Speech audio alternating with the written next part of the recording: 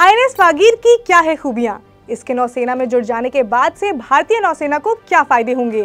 क्यों इसे silent killer कहा जा रहा है? इन सब पर बात करेंगे इस वीडियो में। नमस्कार, मेरा नाम है स्वर्ण और आप देख रहे हैं अनकट। भारतीय नौसेना में आईएनएस वागीर को शामिल किया गया है। कलवारी क्लास की पांचवी पनडुब्बी है। भारतीय नौसेना की माने तो इंडियन नेवी ने सबसे पहले 1 नवंबर 1973 को वागीर को कमीशन किया था। इस पनडुब्बी ने कई अभियानों को अंजाम दिया है। तीन डिकेट तक सेवा में रहने के बाद इसे जनवरी 2001 में डीकमीशन किया गया था। इसके बाद एक नए प्रोजेक्ट के ज़रिए नवंबर 2020 में इसे एक नए और मॉडर्न अवतार में फिर से इंडियन नेवी में शामिल करने की बात कही गई। भारतीय नौसेना का दावा है कि ये भारत में सबसे कम समय में तैयार होने वाली पहली पनडुब्बी है।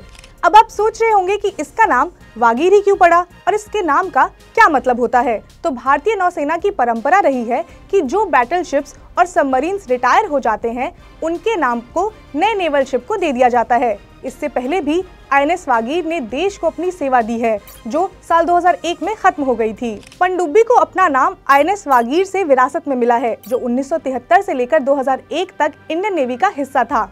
इसका नाम सैंडफिश की एक प्रजाति वागीर के नाम पर रखा गया है। ये फ़िश समुद्र की बेहद गहराई में रहकर शिकार करती है और शिकार का पीछा तब तक करती रहती है जब तक शिकार पर निशाना न साधे और उसी से इंस्पायर होकर ही इसका नाम रखा गया है। मैंने शुरुआत में इसे साइलेंट किलर कहा था। अब आप सोच रहे होंगे कि मैंने इसे इस नाम से क्यों बुलाया? वो इसलिए क्योंकि इसके पीछे के हिस्से में मैग्नेटाइज प्रोपल्जन मोटर लगा हुआ है, जिसकी वजह से इसके अंदर से आने वाली आवाज़ बाहर नहीं आ पाती है, जिस वजह से दुश्मन की खोजी हुई हवाई जहाजों या सबमरीन या फिर वॉर वेल्स को इस पनडुब्बी के बारे में पता ही नहीं चल पाता है। ये पनडुब्बी बिना पकड़ में आए ही दुश्मनों पर हमला कर सकती है।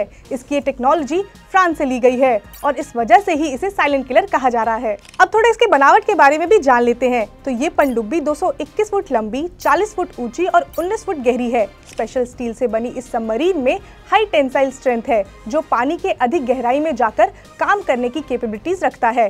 आईएनएस वागीर के अंदर 360 बैटरी सेल हैं। हर बैटरी सेल का वेट 750 किलोग्राम के करीब है।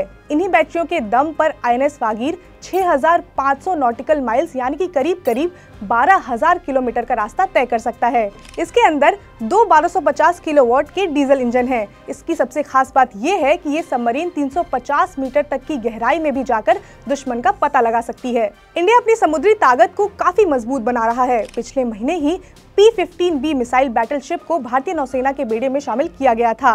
लास्ट ईयर इंडिया ने अपने सबसे बड़ी जंगी जहाज़ विक्रांत को अपने बेड़े में शामिल किया था। तो इंडिया लगातार ही अपनी समुद्री ताकत को बढ़ा रहा है। भारत और चीन के रिश्ते पिछले कुछ सालों से खराब चल रहे हैं और ऐसी खबरें भी आ रही हैं कि समुद्र के माध्यम से चीन इंडिया और श्रीलंका पर नज़र रख सकता है। तो ऐसे सिचुएशन में ये पनडुब्बी इंडिया के लिए काफ़ी बेनिफिशियल होगा। अब देखना यह है कि इंडिया अपनी समुद्री ताकत को बढ़ाने के लिए और क्या क्या कदम उठाता है। खैर, जो भी होगा, हम आपको अपडेट देते रहेंगे। जुड़े रहिए अनकट के साथ। इसके साथ ही अगर आपको ये वीडियो पसंद आई हो तो लाइक करें, शेयर करें, सब्सक्राइब करें अनकट को।